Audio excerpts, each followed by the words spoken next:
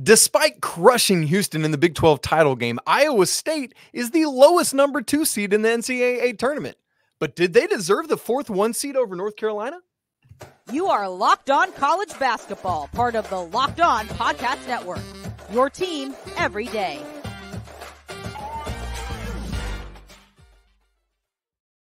Happy March Madness. Welcome into the Locked On College Basketball Podcast, the only daily national college hoop show out there. We are your hosts. This is Andy Patton. I'm Isaac Schade, and you're joining us at the place to get your college basketball content every single day. Thanks for making us your first listen or watch. And a special shout out to all you everydayers out there. If you're not part of the Locked On College Basketball Discord community, you're missing out, especially right now. The link is in the show notes. Come join us, it's free. This episode is brought to you by LinkedIn. These days, every new potential hire can feel like a high stakes wager for your small business. That's why LinkedIn Jobs helps find the right people for your team faster and for free. Post your job right now at linkedin.com slash locked on college. Terms and conditions apply.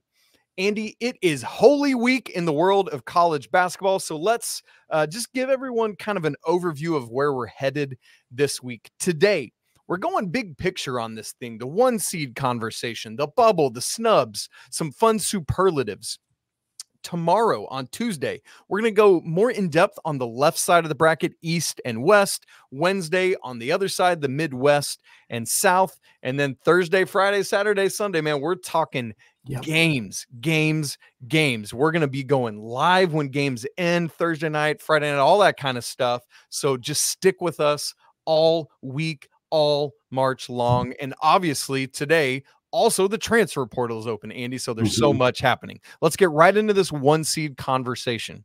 Andy, there were two different conversations in the one seed realm. And so let's have both of those here right out of the gate. Number one, we've known for uh, probably months now mm-hmm. that the mm-hmm. top three seeds in some, or the top three teams overall in some order, were going to be, I'll name them alphabetically right now Houston, Purdue, and UConn although it's alphabetically Connecticut first, if you say it that way. um, Andy, when things rolled out, the committee chose UConn number one overall, Houston number two overall, Purdue number three overall. The first question for today did they get it right? I think so. I, I think so. And it, one of the big conversations we have about the committee a lot at this time of year is at what point do they make the decisions that they make? How much do those final games matter? You know, how much did, like, for example, Illinois, Wisconsin, did it move either of those teams all that much on the seed line? My guess is probably not. But no. what about like, you know, a few games before that. And, and you look at this, and Houston obviously took that loss to Iowa State, which we're going to talk about 28 point loss for a, a, really good team. Purdue obviously did not win the Big Ten tournament. They lose in overtime to Wisconsin, a team that's uh, struggled a bit, uh, particularly lately. Whereas UConn, they did take care of business. And, and wow. certainly I think that UConn didn't face the same caliber of, of competition uh, in there in the Big East tournament just because of the way the bracket shook out. But uh, I think that having UConn be the top team when the other two teams failed to win right. uh, their conference tournament. I mean, to me, that I, I, don't think it was as cut and dry of just that's the reason they made the decision, but it's hard to argue against that when that's the way that it shook out this time. Yeah, because I, I think we even said like at this point last week before we got to Champ Week, mm-hmm. they all felt so similar. Like it was insane yeah. how yeah. similar they felt. And this I is the slightest it. difference, but it matters. Exactly, and that's why mm-hmm. I think we even said it might even come down to who wins their conference tournament and who doesn't, as you just mm-hmm. said. Yeah. And UConn was the one that did it. And not only that, but Andy, I've been voting Purdue number one in our mm-hmm. locked on poll for a while, but based on resume, based on eye test, yeah. UConn and Houston are at the top of the heap yeah. for me. Agreed. Agreed. And then, you know, so UConn wins the Big East championship, um, both regular season and tournament, I might add. Houston while they got blitzed in the Big 12 championship game, got there and yeah. won the regular season in their first year in a Power Six conference. Unbelievable stuff. And then Purdue just slipped in the semis against Wisconsin. Mm-hmm. They could have won, um, but they didn't. And so I've got no problems with this. Okay. Andy, though, the second part of the one seed conversation is the fourth one seed.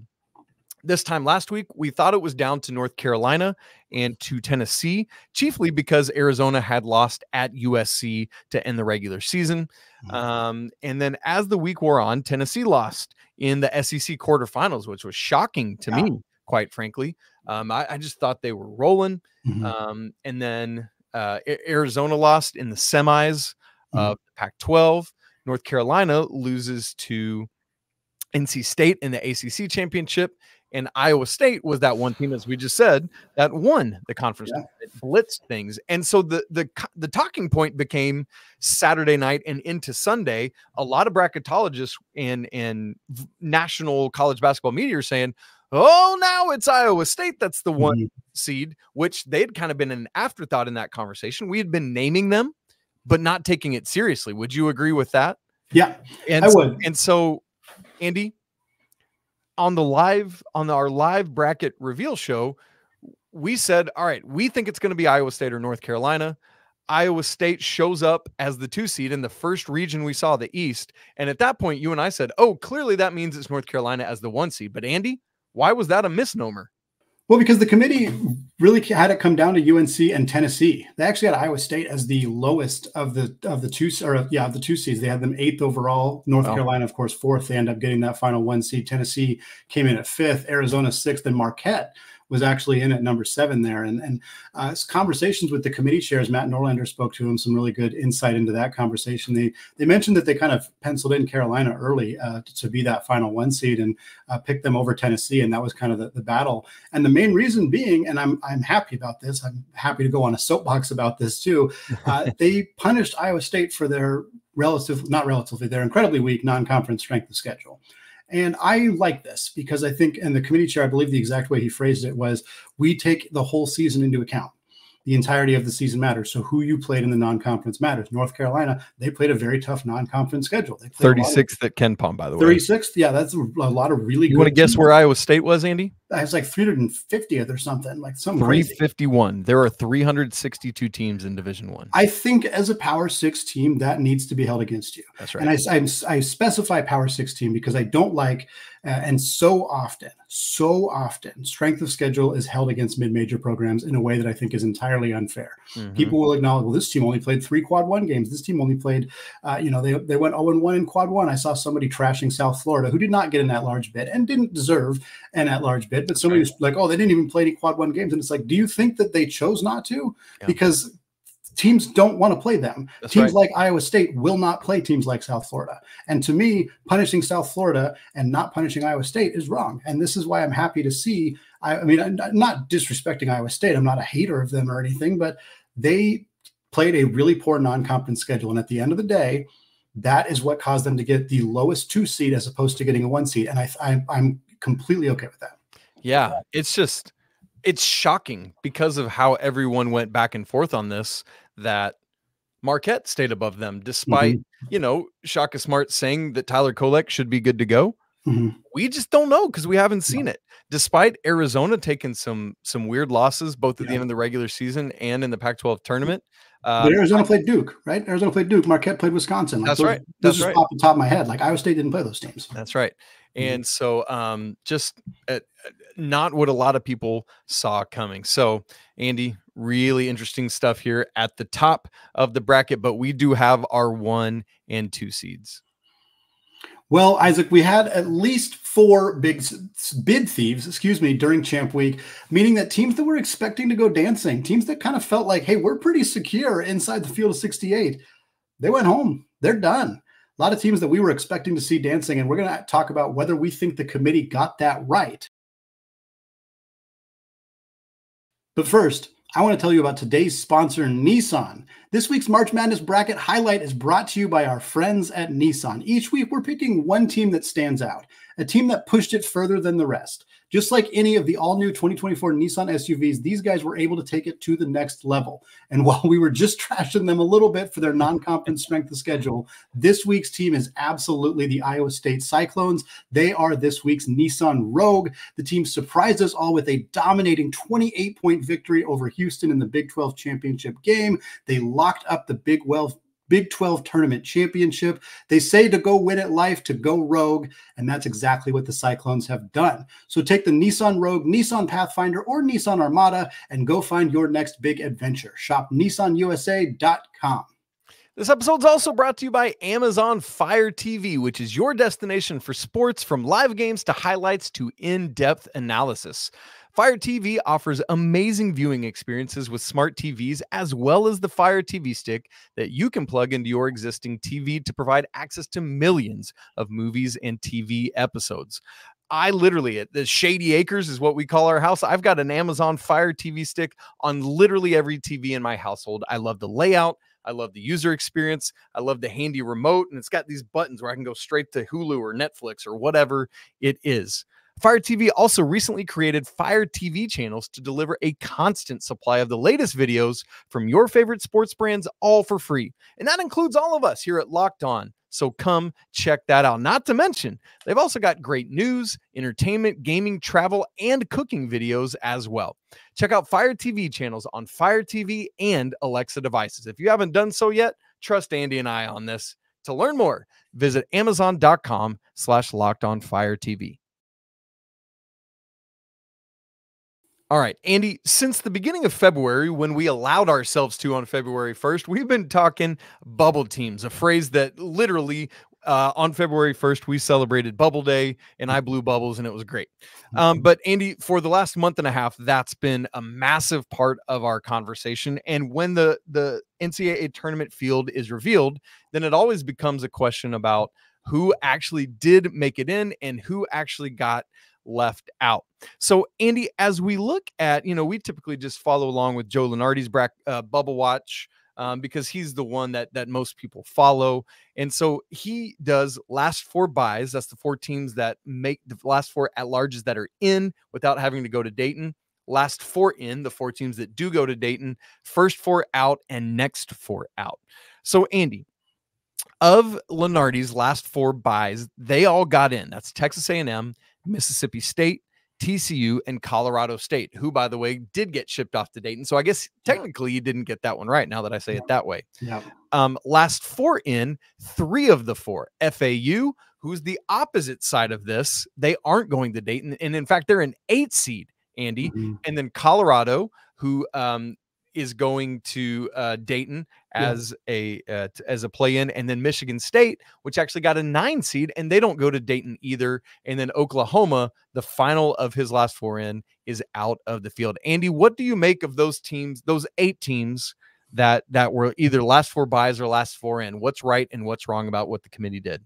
Some yeah, some interesting stuff here. I think we see some I don't want to say disrespect necessarily, but not as high on some of the Mountain West programs as I think the expectation was going to be. Mm-hmm. One of the teams that Lunardi had safely in the field, who ended up being in that last four in conversation, was Boise State. That's right. Uh, we were pretty surprised to see them in a play-in game. I thought they were you know more likely to get an eight seed, a nine seed, and kind of be safely inside that field. Instead, they end up in a play-in game. Uh, Colorado State was the last team in which was very surprising to me. We also found out that New Mexico was going to not make it if they didn't win that Mountain West tournament. So uh, again, like we kind of knew that all those Mountain West schools were borderline-ish. Like Nevada got a 10 seed, so they made it in, but not super secure. Utah State, eight seed, San Diego State, uh, who finished fifth in the Mountain West, got a five seed, way higher than everybody else. Not saying that's unjustified, but it is odd when you look at it that way. Uh, so that that kind of stood out to me. I wasn't shocked to see FAU get an actual bid, although I think a lot of other people were a little surprised by that. Same with Michigan State. Uh, for me, the the biggest surprise out of this though is Virginia. Uh, Virginia was part of the first four out, by the way. Let, us name those really quick. Yes, do it.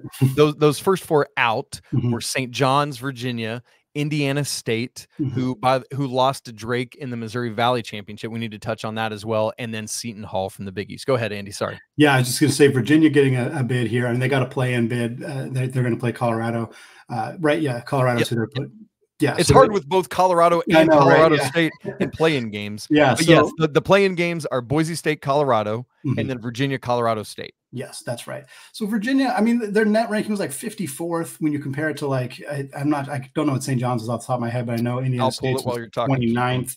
I know Seton Hall's wasn't great either, so that's fine. But Pitts was 40th. Like net ranking shouldn't be the only thing that matters. But Virginia, like they have a lot of really horrendous losses, like big blowout losses. I just I felt like this team was pretty borderline. And I thought when we saw all the bid thieves, when we saw NC State and Oregon and and Duquesne and, and uh, UAB, when they all stole bids, I, I, thought for sure that was a death sentence for Tony Bennett yeah. uh, and the Cavs. But instead, they managed to sneak their way in. I think uh, I probably would have had uh, St. John's ahead of them. I might have even had Seton Hall ahead of them, although I think that's close. I probably would have had Oklahoma ahead of them as well. And and I, again, I Virginia is borderline. I don't think it's like an egregious yeah. that they're in the field of 68, but there are at least three, maybe four teams that I probably would have picked over them. That's interesting. So uh, looking at the net rankings here, Virginia was 54. Mm-hmm. Other teams that you mentioned, Oklahoma was 46. Mm-hmm. Um, St. John's 32, Villanova 41, Providence 57, Xavier 64, Seton Hall down at 67th. Yeah. So kind of Indiana State, obviously, is one of the more notable ones at 29. Right. So let, us go there next, Andy. Mm-hmm. Indiana State, a team that we all wanted to see in, along with Drake. I mm-hmm. really mm-hmm. wanted both of those Missouri Valley teams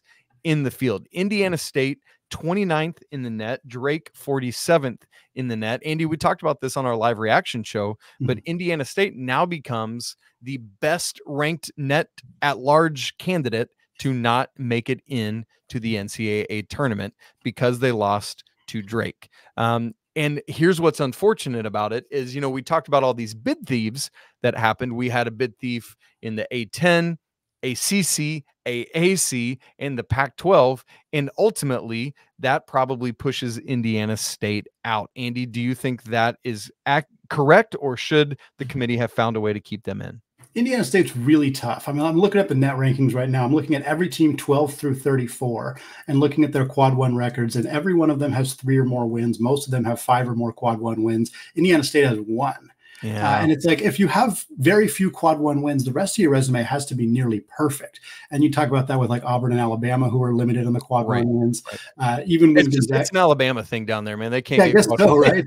even Gonzaga picked up two quad one wins at the end of the year, but they had one quad one win going into the final week. But they were still feeling like they were safely in because the rest yeah. of their record was pretty much perfect. That's not the case for Indiana State. They're one and four in quad one games, but they also have a quad two loss. They also have a quad four loss. Yeah. And to me, it's like that is that's borderline and and 29th in the net is great it's great it's the, i mean like you said it's the highest that's ever not made it and i think they absolutely have an argument but I also see the other side. I see why you. I, I, mean, even though I'm Virginia, I'm not super high on. I see why you would take them. They have more quad one wins. They have better, just a, a, better resume in general. Even with some of the ugly losses, they don't have a quad four loss, for example. So, I I, I get it. I I wish Indiana State had made it from a narrative perspective. I yeah. wish we got to see Robbie Avila in the tournament. Uh, we didn't, and that's unfortunate. Uh, but, but, I, I think it's think, right. I think it's the right call. I think it's the right call. Yeah. I, which I, I think you put it beautifully there by saying, from a narrative standpoint, I would have loved to see them, but I, I hate to say it, but the Sycamores should not be in. By the way, though, that next four out that also didn't make it in Pittsburgh from the ACC. I think a lot of people thought they were a really good team with some NBA talent on it, just haven't done enough. Providence Kansas State, South Florida are some others. Andy, one of the interesting things, and, and we can be very brief on this because I want to get to our superlative, superlatives. That's going to be a fun conversation. but with these bid thieves, because we had, I, I, just named those conferences, but in the A10, it was Duquesne, ACC, it was NC State, AAC, it was UAB, Pac 12, it was Oregon. You had asked earlier on Sunday, and you were spot on with this thought, Andy. You said, um, could the first four games end up being 10 seeds instead of 11 seeds like we usually see? Mm-hmm. Because mm-hmm. it felt like the bid thieves were all in that 11 or 12 range caliber. And Andy, my man, I want to give you flowers on that because Duquesne, NC State, and Oregon are all 11s. UAB is a 12. New Mexico, who you talked about earlier, is an 11. And both, Andy, this is how spot on you were. Hmm. Both play-in games are for a 10 seed Virginia versus Colorado State and Boise State, Colorado.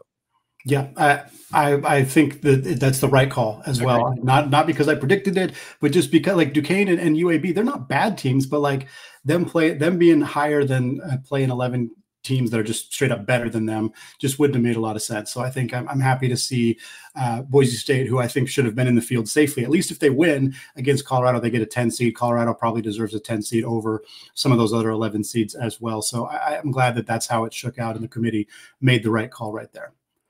Well, Isaac, we're going to talk about UConn because, frankly, they might have drawn the toughest region, which feels just bonkers considering that they were the number one overall seed. We're going to talk about that and who might be this year's Cinderella story. All of that coming up. But first, I want to tell you about today's sponsor, LinkedIn Jobs. Folks, when you're hiring for your small business, you want to find quality professionals that are right for the role. And that's why you have to check out LinkedIn Jobs, which has the tools to help find the right professionals for your team faster, and they do it for free. Thankfully, LinkedIn is not just another job board. They have a vast network of over a billion professionals, making it the best place to hire. It gives you access to professionals that you cannot find anywhere else. LinkedIn does all that while making the process both easy and intuitive. Hiring is easy when you have that many quality candidates. So easy, in fact, that 86% of small businesses get a qualified candidate within 24 hours. And LinkedIn knows that small businesses are wearing so many hats and they may not have the time or resources to hire. So they're try- always trying to find ways to make the process even easier. For example, they just launched a feature to help you write job descriptions. So post your job for free at linkedin.com slash college. That's linkedin.com slash college to post your job for free. Terms and conditions apply. All right, Isaac, closing out the show here on Monday, the first day after Selection Sunday, one of our favorite shows of the year as we get ready to get more in depth on the regions by regions Tuesday and Wednesday show. And then, of course, getting straight into the madness on Thursday and Friday and throughout the rest of the weekend as well. I want to talk about what we think was the toughest region. And for those of you who mm-hmm. listened to our live reaction show, which you haven't done so yet, you can go check it out. It's on YouTube and audio. It's just us reacting live as the bracket is revealed on CBS on Sunday. But one of the things that stood stood out to us was how difficult UConn's region is in the East. And Isaac, I, I you know, we pointed out like four of the six Power Six conference tournament champions are in the East region, and that feels insane to do that to the program that you ostensibly have as the number one overall seed. Yeah, it's insane. Uh, the, these conference tournament champions. By the way, for those of you watching, you can see we've pulled up that that East region here on uh, YouTube um, yeah, so you've got UConn, and not only do you have those four, but they are the top four seeds in this mm-hmm. bracket. UConn the one, Iowa State the two, Illinois the three, and Auburn the four. Obviously, they're the winners of the Big East, Big 12, Big 10, and SEC, mm-hmm. respectively. Not to mention, uh, you know, that as you look at the top half of this bracket, you've got Florida Atlantic, FAU, the eighth seed, and you've got San Diego State, the five seed. And Andy, that means that in the top half of this bracket, you've got three quarters of last year's Final Four.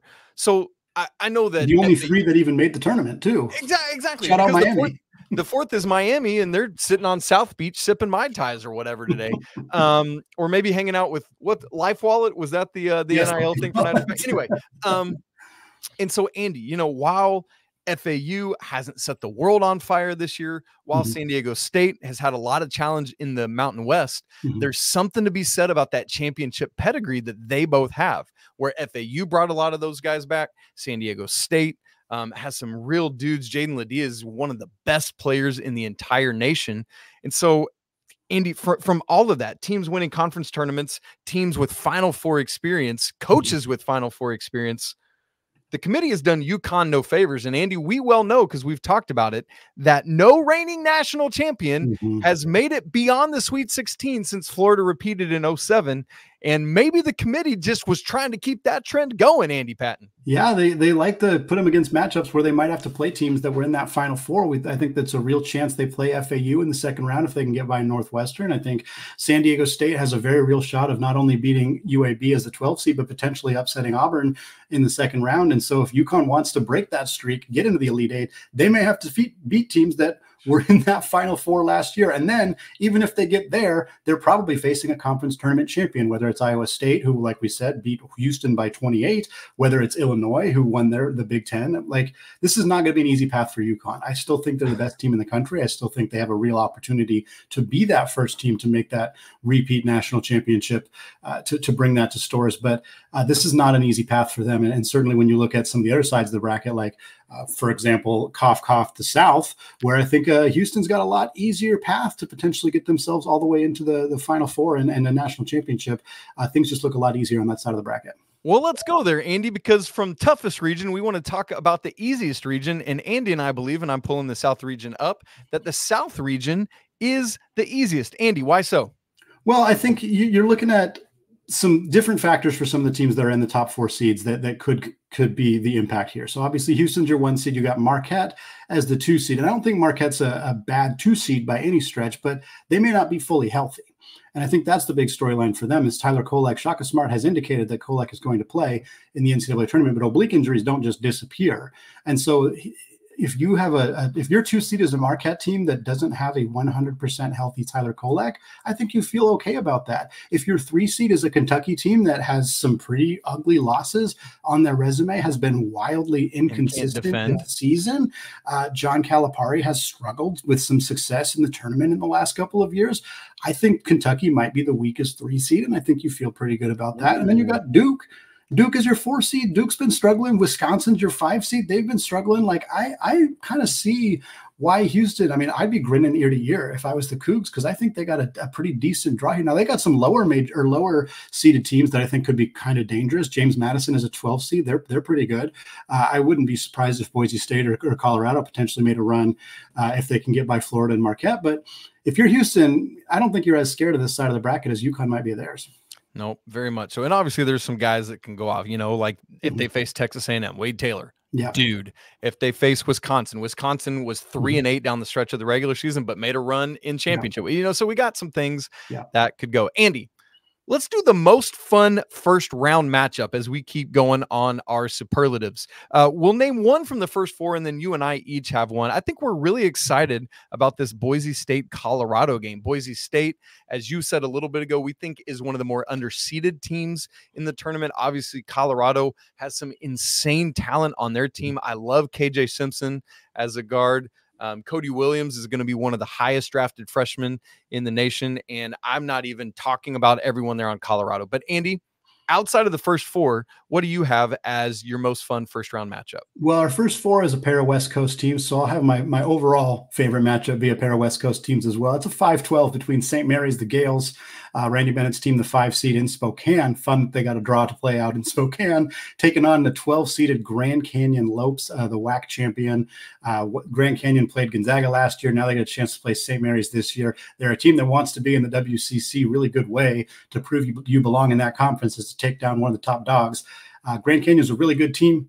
Uh, I think they have a real potential to be a potential uh, Cinderella type team in this tournament. St. Mary's very, very good, played really well in their last game against Gonzaga, but I think Grand Canyon could make this one really interesting and it's a fun battle. Uh, I don't usually love mid major teams getting matched up uh, against each other, but a 5 12, it kind of just has to be the case. Yep. There's not going to be a lot of power six teams on the 12 line. So I'm okay with this one because I think it's a fun regional game. Uh, and I think it's it's going to be a really exciting ba- battle between two good teams.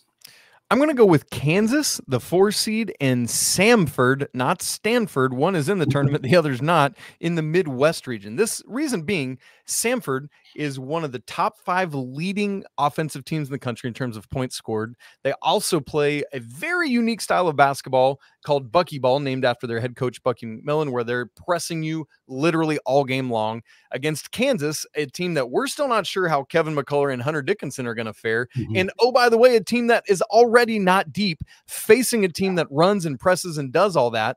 Can Kansas overcome the Bulldogs? Going to be a really interesting first round matchup. Now, Andy, in in a similar vein, we went to the most fun potential matchups in each region. I know we're short on time, so let me just fly through these and then we'll get to our Cinderella. In the West, we're talking about North Carolina and Arizona as a potential matchup in the Elite Eight. Why? Caleb Love and assistant coach Steve Robinson going back up against the North Carolina Tar Heels. How wild would that be?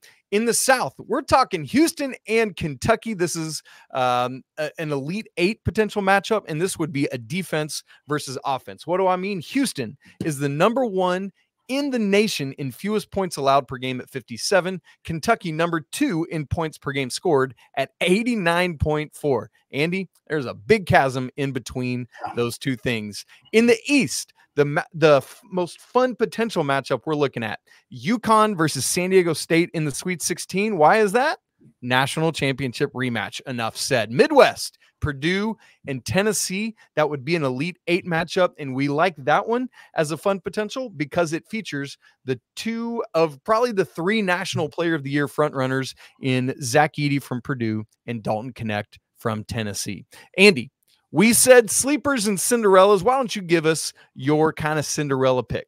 Well, I kind of already teased it, so I'm going to just go straight into it. It's Grand Canyon it's Grand Canyon. Bryce Drew's team. I, I, think Bryce Drew's done a phenomenal job since taking over this job for the Lopes.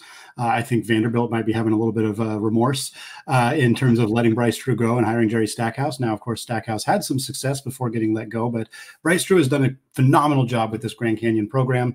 Uh, they're a 12 seed. They got St. Mary's in the first round. If they get by that, they got either Alabama or Charleston. I would not be surprised at all to see Grand Canyon in the Sweet 16 potentially lining up against those Tar Heels of North Carolina. Uh, main reason, Tyon Grant Foster. This dude is an absolute mm-hmm. star. 20 points per game, six boards, uh, about two assists, about two blocks, about or two steals, excuse me, about one and a half blocks per game. Started at a junior college, played one season at Kansas, played one year at DePaul, although he was hurt. Uh, he actually suffered a serious heart issue and missed multiple years.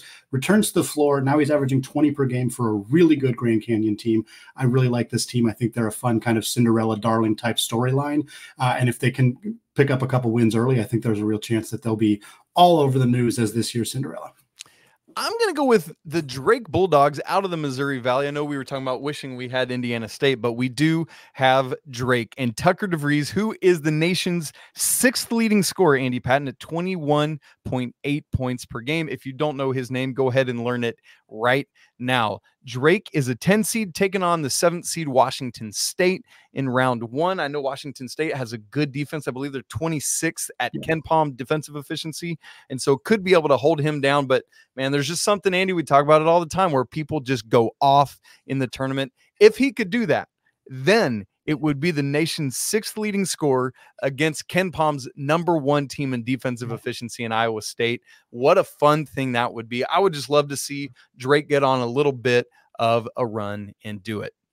Well, folks, as we said earlier, we're going to get more into the nitty gritty of each region throughout the rest of the week. And so make sure you come join us tomorrow on Tuesday as we go through the left side of the bracket. And then on Wednesdays, we go through the right side of the bracket. And then on into the week, as we actually get to games on Thursday, it's going to be so great. If you're not part of the Locked On College Basketball Discord community, come join us. The link's in the show notes. It's free to join. If you're not subscribed to our show, do so now so that you don't miss a second.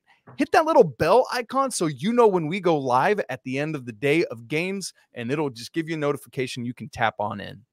Andy, as always, apologies to the lawyer family. Let's go, Wildcats. And until tomorrow, peace.